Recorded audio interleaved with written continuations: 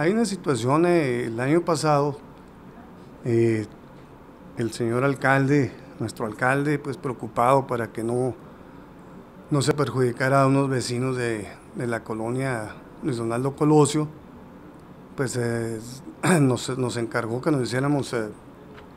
que, que, turnáramos el asunto aquí a la Procuraduría en contra del señor Ignacio Riestra, la mayoría era por, por una venta de bloques, eh, que esta persona no cumplió con, la entrega de los bloques a tiempo, muchos estuvieron pagados, era una especie de cundina que se hizo, y luego,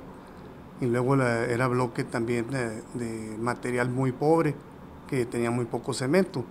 Entonces estuvieron atendiendo los casos y se han, se han solucionado aquí uno de los, de los eh,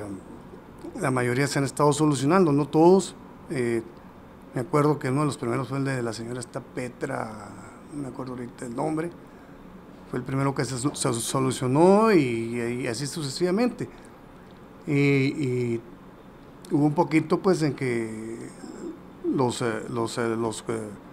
los, vecinos de la Colosio dejaron de insistir, volvieron y otra vez se volvió a asistir al señor Riestra está compareciendo aquí en Profecor por medio de, un apoderado legal